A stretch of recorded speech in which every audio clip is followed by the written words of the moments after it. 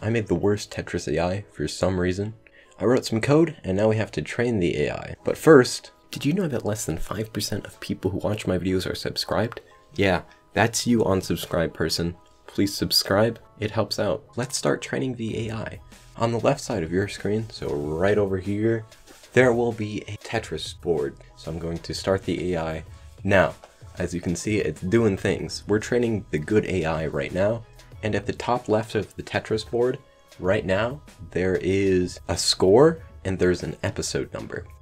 The score is obviously the score of the game that this code that I stole calculates. And then there's the episode number, which is basically fancy machine learning terminology for the amount of games it's played and the amount of games it's learned on.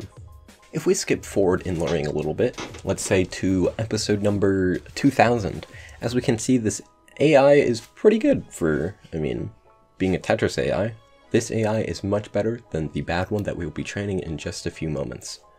I'll show you the best results from both of these AIs later on in the video when both of them are finished training. So now let's start training the bad AI. Ready? Go! These AIs basically start off doing the same thing, which is doing random moves because they don't know what they're supposed to be doing yet. Later on, they'll learn. While these AIs are training, I'm going to teach you a little bit about machine learning. These AIs are trying to get the highest reward possible. A reward is something you define as a programmer to what the goal or the objective should be. In this game, in the good AI, it's points earned. In the bad AI, it's the minimum amount of points earned, or the lowest number of points earned. In some other games, such as speedrunning games, it may be the lowest time, lower time is better. Each time these AIs play a, another game or episode, they have a different version of themselves because they're slightly tweaked each game they play. If a new version in a game gets a higher score, it's usually overridden and it will take the better AI because ultimately that's what they're trying to do, trying to create the best AI for the reward. In our case, the bad one's just bad, but that's its goal. Its goal is to be bad. After a few hours of training these AIs, they had played a total of 5,000 games each or episodes of Tetris, I handpicked the best and worst results for these AIs, which isn't necessarily the 5000th game they played because there's some randomness in Tetris and sometimes they just mess up. So I have the best and worst results for each of these AIs.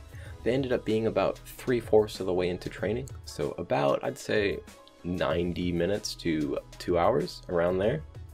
So I think let's start off with the control, the actual good AI. So here's that.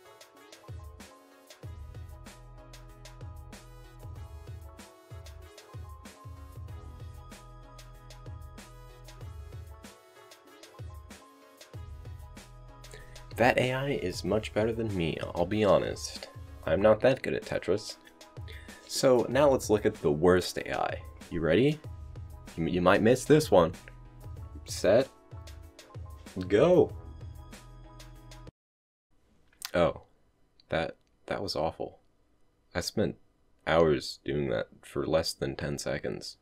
Anyway, thanks for watching. Please make sure to subscribe and leave a comment with what you'd like me to do because I'm running out of ideas.